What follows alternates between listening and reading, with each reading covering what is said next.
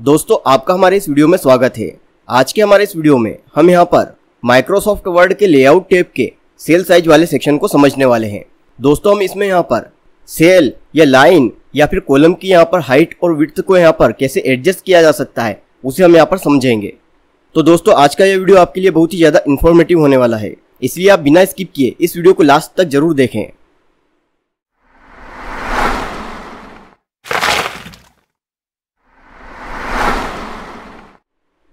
दोस्तों यहाँ पर हमने सेल साइज़ वाले सेक्शन को यहाँ पर समझने के लिए यहाँ पर हमने एक टेबल को ले लिया है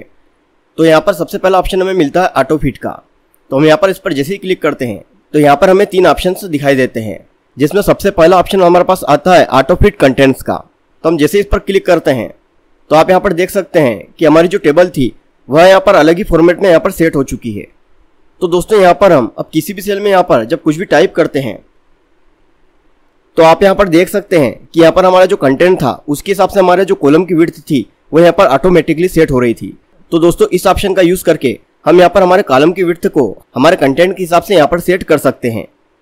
इसके बाद दोस्तों यहाँ पर ऑटो फिट पर क्लिक करने पर हमें यहाँ पर सेकेंड ऑप्शन मिलता है ऑटो फिट विंडोज़ हम जैसे इस पर क्लिक करते हैं तो आप यहाँ पर देख सकते हैं कि हमारी जो टेबल है यहाँ पर हमारे पूरे पेज पर ऑटो सेट हो चुकी है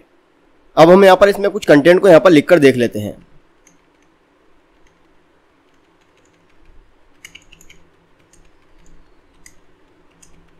तो दोस्तों आप यहाँ पर देख सकते हैं कि यहाँ पर हमारी टेबल यहाँ पर, हमारे पूरे पेज पर सेट तो हो चुकी है, लेकिन अभी भी हम इसमें जब कंटेंट को यहाँ पर लिख रहे हैं तो यहाँ पर कंटेंट के हिसाब से इसके जो कॉलम है, उनकी विड्थ यहाँ पर कंटेंट्स के हिसाब से ही सेट हो रही है।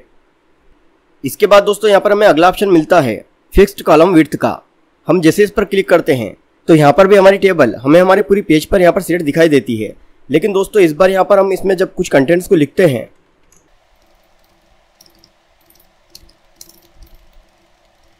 तो यहाँ पर आप देख सकते हैं कि यहाँ पर हमारी जो कॉलम की विड्थ है वो यहाँ पर फिक्स है इसमें कंटेंट को हम जब लिखते हैं तो यहाँ कंटेंट के हिसाब से हमारी जो कॉलम की विड्थ यहाँ पर ऑटो सेट नहीं होती है और हमारे कॉलम की जो विड्थ है यहाँ पर वो यहाँ पर फिक्स होती है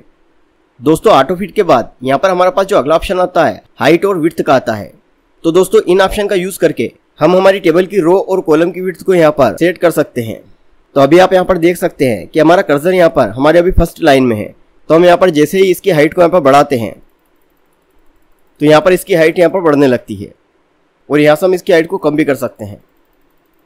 इसके साथ ही दोस्तों, हम यहाँ पर लाइन की हाइट को, यहाँ पर लाइन पर नीचे आकर और इसको यहाँ पर खींच कर और इसकी हाइट को यहाँ पर कम ज़्यादा कर सकते हैं। लेकिन दोस्तों, यहाँ पर अगर हमें सभी लाइनों की हाइट यहाँ पर एक जैसी चाहिए तो यहाँ पर हम लाइनों को सिलेक्ट करके और यहाँ से उनकी हाइट को एक जैसा कम या ज़्यादा कर सकते हैं।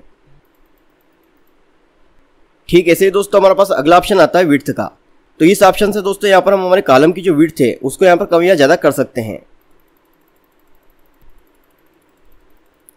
और दोस्तों ठीक उसी तरह से हम यहाँ पर कॉलम की विड्थ को भी यहाँ पर खींचकर छोटा या बड़ा कर सकते हैं।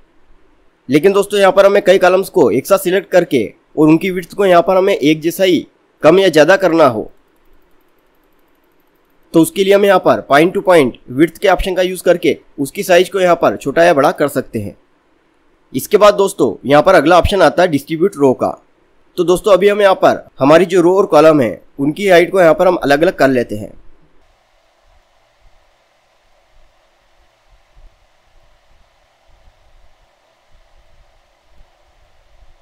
दोस्तों, आप अभी यहाँ पर टेबल में देख सकते हैं कि यहाँ पर अभी टेबल में इसकी जो रो है और इसकी जो कॉलम है, इन सभी की हाइट और विड्थ यहाँ पर अलग अलग है। तो दोस्तों, हम यहाँ पर टेबल को सिलेक्ट करने के बाद जैसे यहाँ पर डिस्ट्रीब्यूट रो पर यहाँ पर क्लिक करते हैं तो यहाँ पर हमारी सभी रो की हाइट यहाँ पर सेम हो जाती है और ठीक दोस्तों इसी तरह से हमें यहाँ पर दूसरा ऑप्शन मिलता है डिस्ट्रीब्यूट कॉलम का हम यहाँ पर डिस्ट्रीब्यूट कॉलम पर भी जैसे ही क्लिक करते हैं तो यहाँ पर अभी हमारी जो यहाँ पर कॉलम की अलग अलग विड्थ हमें दिखाई दे रही है वह भी यहाँ पर बराबर हो जाती है तो दोस्तों आप यहाँ पर अब देख सकते हैं कि यहाँ पर हमारी जो टेबल है उसकी सभी रो और सभी कॉलम्स की यहाँ पर जो हाइट और विर्थ है वह अब यहाँ पर बराबर सेट हो चुकी है दोस्तों, अब तो आपको यहाँ पर सेल साइज़ सेक्शन यहाँ पर समझ में आ चुका होगा। अगर आपको यह वीडियो पसंद आया हो तो हमें सपोर्ट करने के लिए आप इस वीडियो को लाइक और सब्सक्राइब ज़रूर कीजिए, ताकि हमारे आने वाले ऐसे सभी वीडियोस की जानकारी सबसे पहले आप तक पहुँच सके।